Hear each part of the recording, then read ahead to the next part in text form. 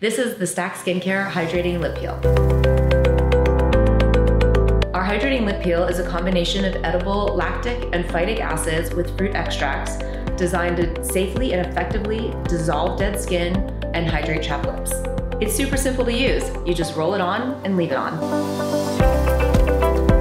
Use it once or twice a day or as needed. I like to use it in the morning, I toss it in my bag, and then I have it for the day. My favorite quick and easy lip treatment is to apply our hydrating lip peel, then use our microneedling tool, and finish with our HA Hydrating Serum to quickly plump and hydrate my lips.